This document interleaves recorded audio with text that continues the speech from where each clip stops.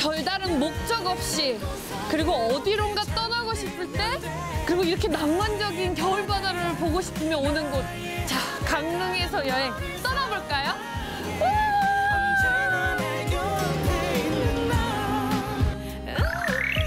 바다같이 넉넉한 고향. 오늘은 강원도 강릉으로 떠나봅니다. 첫 여정의 목적지는 해돋이 명소로 유명한 곳이죠. 정동진입니다. 아름다운 이곳의 풍경을 제대로 즐기려면 레일바이크가 제격이라는데요. 근데 이게 전동으로 간다는 거죠? 네. 드디어 레일바이크 타러 왔어요. 어, 안녕하세요. 아, 정말 이 레일바이크를 타면서 보는 정동진도 얼마나 멋있을지 기대가 됩니다. 예, 아, 정동진은 아주 유명한 곳입니다. 네.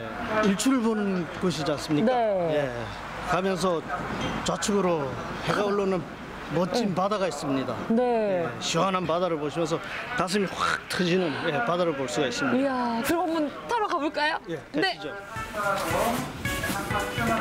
레일바이크를 타면 페달을 굴러야 하니까 살짝 힘들지 않을까 싶었는데요. 이곳의 레일바이크는 전동 모터가 달려 있어서 편하게 즐길 수 있습니다. 저 같은 사람한테 딱이네요. 무엇보다도 이 레일바이크를 직접 이렇게 페달 안 밟아도 되니까 이렇게 좀 경치 보는 재미가 더 이렇게 뭐라 해야 될까? 더 집중된다고 해야 될까? 네. 여기 바이크는 바다하고 제일 가까운 곳입니다. 레일바이크를 타며 바라보는 아름다운 겨울바다. 보기만 해도 힐링이 되는 것 같더라고요. 진짜 바로 옆이네요. 네. 여기가 모래시계 공원입니다. 모래시계 공원이요? 그 대한민국에서 제일 큰 모래시계가 설치되어 있는 곳이에요. 오. 아, 이게 모래시계예요? 네.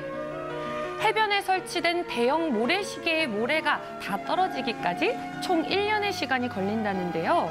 매년 1월 1일엔 모래시계 회전식도 열린답니다. 음, 그것도 장관이겠어요. 다음은 바닷길을 따라 발걸음을 옮겨봅니다. 이야, 이 시원한 동해 바다. 제가 지금 바다 부채길 전망대 위에 올랐는데요. 이 뒤로 보시면 쫙 정말 바다가 시원하게 펼쳐져 있습니다. 정말 속이 뻥 뚫리네요. 와. 바다를 향해 부채를 펼쳐놓은 것 같다 하여 이름 붙여진 부채길. 원래는 일반인 출입이 금지된 신비의 공간이었는데요. 3년 전 처음으로 공개되면서 자연이 만들어 놓은 아름다운 비경을 볼 수 있게 됐습니다. 진짜 신기한 게 이 바위 모양들이 이 45도 각도로 이렇게 뻗어 있어요. 어떻게 자연이 이렇게 만들어질 수 있을까? 아, 정말 자연 그대로의 모습을 볼 수 있는 아름다운 곳입니다. 자연이 선물해준 아름다운 비경, 부채길.